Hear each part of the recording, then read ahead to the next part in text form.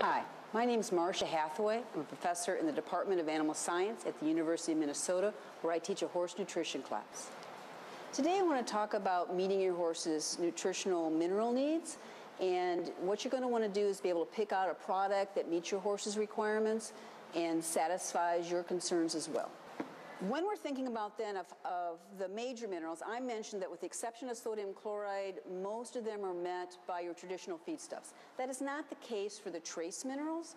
The trace minerals are needed in such small quantities and they're quite variable in terms of their presence in different plants. The recommendation is that you don't try to factor in whether the feedstuffs, your forages, and maybe even cereal grains, how much of each trace mineral they're providing.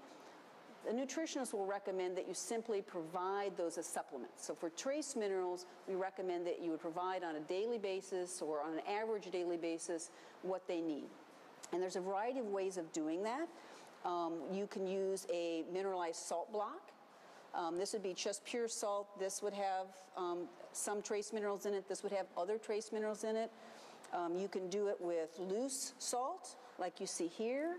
Again, you can see there's some real differences in terms of, of color, and some of that difference has to do with what content they would have in terms of minerals. So you might think if I look up in the NRC what my horse should have, then why wouldn't all the products be the same? Why wouldn't they just formulate the product so it meets these requirements?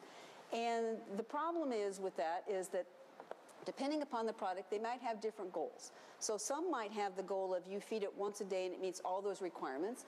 Others might have it be you're getting some mineral from some source and their product may be making up the difference. So if they're assuming you're getting some minerals from your traditional feedstuffs, but you might need some others, then they will make a product to fill that niche. So you really need to look at the feed tag to see what's in it, um, to really decide whether um, which product works the best for you. Many people use the hard um, salt block. Um, certainly horses will lick this. The problem with the hard block is they really were designed for cattle.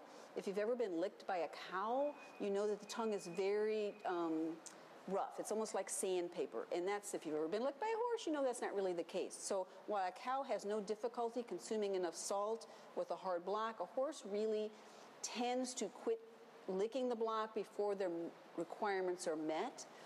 And what research has shown that if you provide the same mineral content and salt content in the loose form, they will eat 20 to 25 percent um, more loose salt. And really, your goal should be to optimize or maximize voluntary salt consumption by making it as easy as possible.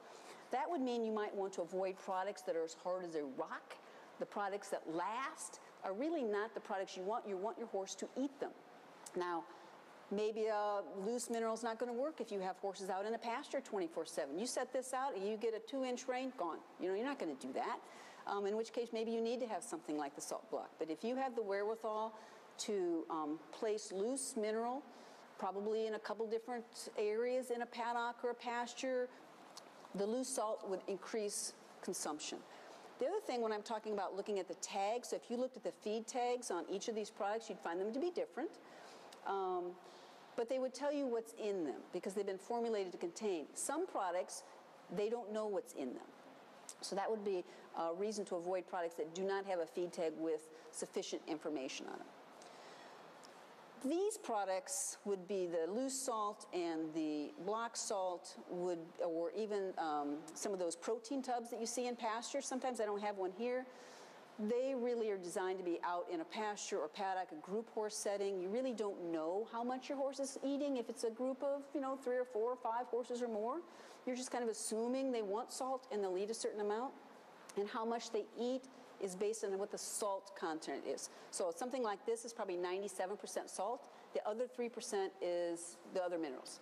So 1,000 pound horse will eat on average one to two ounces of this, and they get by default then those minerals.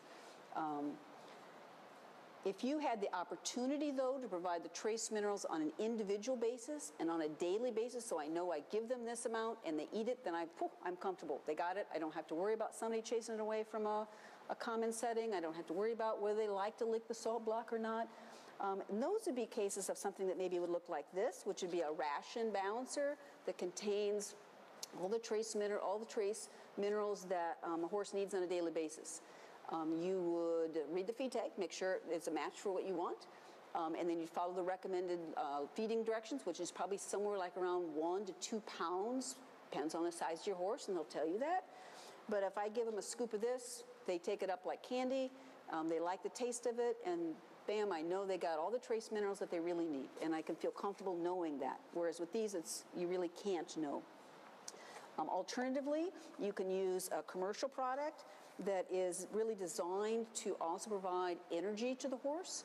Um, and but they've so it's got oats and corn and some pellets, some dried molasses probably, and they've added trace minerals to it. So if you feed at the recommended level, which may be four, five, six pounds a day, then they're getting that energy and they're getting those trace minerals. But if your horse starts to get a little overweight or you don't think they need that much energy and you cut back, you have to be aware that you're cutting back on the trace mineral intake at the same time, in which case you might want to switch to a different product.